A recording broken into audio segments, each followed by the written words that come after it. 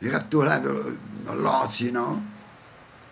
Stockpiling food and, you know, that's paranoia, that's fear. Just enough. Basically, live normal life. Listen to the music. Go spiritual way. Laugh, have fun.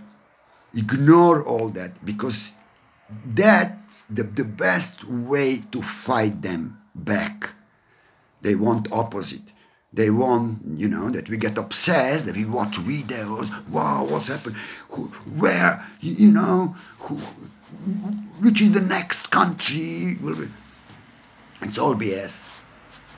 Don't bite that. Don't don't get into into it at all. I'm telling you seriously. Don't. Do opposite what they expect you from you to do. Be Heyoka. Heyoka, you know, the Indian shaman, they were always doing the opposite what the people were expecting from him. Of him. He would, you know, go in the middle of the winter, naked, outside of teepee, and complaining how hot the weather is. He's sweating, he can, can't stand such a heat. And then in the middle of the summer, he would come out all wrapped in in a buffalo robes, skin, complaining that he's freezing, so cold. He would uh, ride a horse backwards, and he would do everything opposite what everybody were expecting. And that's that's a good way to make a point. That's a very good to, way to make a point. So I, I suggest this to you. Do exactly opposite of what they expect from you to do. Don't feed on their BS, on their propaganda. Don't watch their news. Not only, I mean, especially not mainstream news and all that. Absolutely not. Not even these uh, YouTubers, who, which some of them have a good intentions. They, they think they, you know, they're waking up the people and you know giving the, the true information.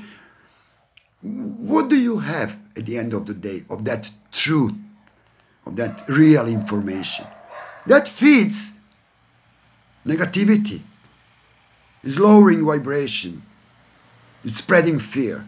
Doesn't matter if it's truth or lie, it's negative. Who cares if, if the bomb really exploded or not? Bomb exploded and killed people. So who care? Who cares if this version is correct and this one is wrong? So we're gonna feel better if we know the right version. We, we know exactly what happened. What do we change with that? Nothing. We frustrate ourselves anyway. I don't say that we should ignore the suffering of the people.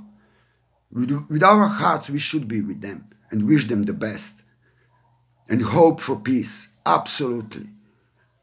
But feeding ourselves with those negative information, with these negative energies, we cannot change anything. We can only change if we step out of that mindset, on, on, on, on, on the, from that matrix they're imposing us so, so cruelly. We can only change things if we step out and spread positivity, spread love, and spread light. Like my friend from Spain, Steagnus, he said, we are all mensajeros de alba. We are all God's children. We are all on a mission for God. And we should stick to that path and keep away from them. Keep away from their propaganda, from, from their toxic and, and, and terrible agenda. intends to poison our souls and our minds, to make us weak. Say no to all of that. Live your life like always you did.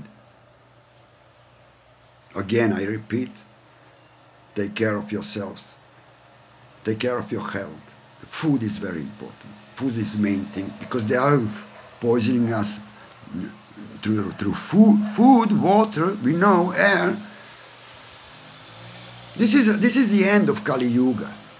And everything reached its kind of culmina culmination, the top of all. And it will not last forever. This is the, the, the, the end of, of, of, of all disasters. And this is the last yeah, attempt for them to take over. I'm telling you, with all my confidence, absolutely, they will not win. Never. It is impossible. Whatever they do, it is impossible. So stay positive. Don't fear absolutely anything. My advice is laugh at them. Poor clowns, poor little devils. They are. I love you all, brothers and sisters. I hope I didn't annoy you too much. But now it's important more than ever to stay positive and to take a spiritual path. More than ever, think of God, think of Jesus, think of Muhammad, of Buddha, whatever you want. Just think of good, of light. Be always on a sunny side of the street. Namaskar. I love you all.